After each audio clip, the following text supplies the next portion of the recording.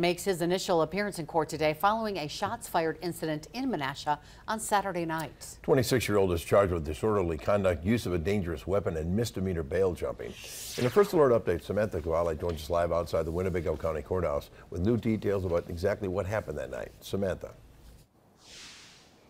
Yeah, Bill and Cami, following two shots fired incidences in Menasha on Saturday night, the suspect, 26 year old Pablo Paramo Villa Gomez, was taken into custody at a McDonald's restaurant in Menasha on Racine Street.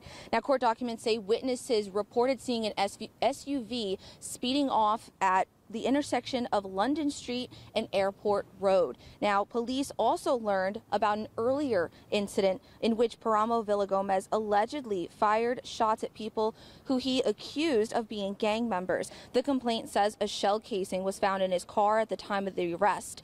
Today in court, prosecutors asked for a $750 cash bond. The public defender asking for $250 cash or signature bond. Prosecuting attorney Caitlin Gradecki said Paramo Villagomez is not only a danger to himself, but a danger to the community. This underlying conduct of random firing is obviously dangerous. Additionally, it appears the defendant has out-of-state connections specifically to Texas, and he also has an out-of-state felony um, record. Uh, he is also believed to be the suspect in a similar incident in Calumet County involving very similar dangerous conduct.